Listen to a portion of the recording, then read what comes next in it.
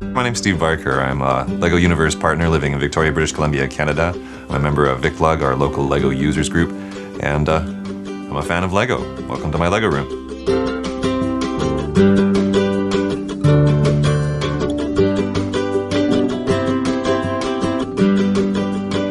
Adult fans of LEGO, AFOLs, uh, we're definitely a breed apart, I think. Somebody just the other day referred to me as a Peter Pan, and I think we all have an element of that in our lives. All of us never quite grew up completely, which I think is a very good thing. Um, if nothing else, I think being an AFOL keeps you young. Um, or you could look at it the other way, that the Lego is keeping us young, that this you know, hobby with uh, playing with small plastic toy bricks is keeping the child alive in all of us.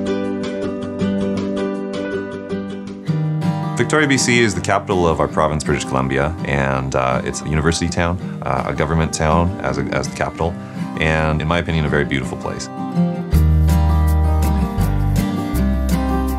I kind of have a bit of a, a, Frankenstein roster of different jobs that I'm doing at any given moment. I'm a stage manager for an opera company. I also do what's called high rigging and steel rigging for arena events. I'm a tour guide, a docent at the Victoria Bug Zoo, so I'm dealing with kids and families and animals all at the same time.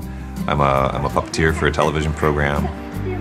But each of these jobs affords me a little bit of flexibility. I can maybe choose my hours or count on certain blocks of free time, and uh, that's the time that I use to focus on LEGO Universe and, of course, my own building.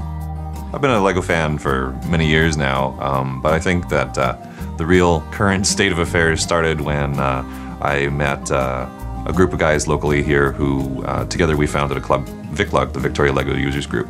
Our VicLug Club now has, uh, I believe, 11 members, the majority of which from the Greater Victoria area, and we really sort of feed off of each other in an interesting way. It's not exactly a one-upmanship, but definitely a, a, support and a, uh, oh, what's the word I'm looking for? We definitely, yeah, we enable each other.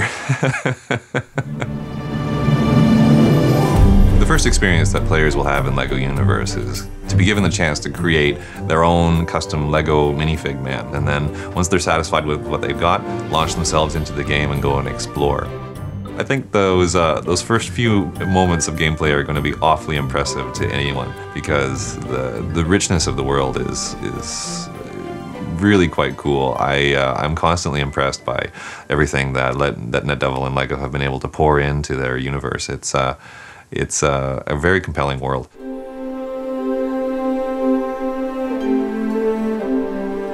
My involvement with LEGO Universe has been an amazing ride. I mean, from the very early days where we were very first invited to come on board and we were basically given access to a massive amount of LEGO bricks and told, build what you see in your mind, build what you imagine the end product of the game to look like. And it was a very, very fun couple of days.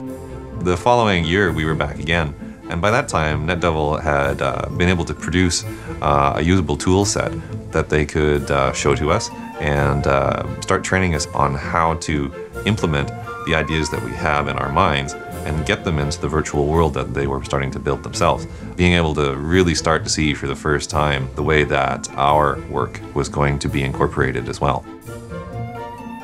The most recent LUP event has taken that a step even further still. We did almost all of our work completely within the computer.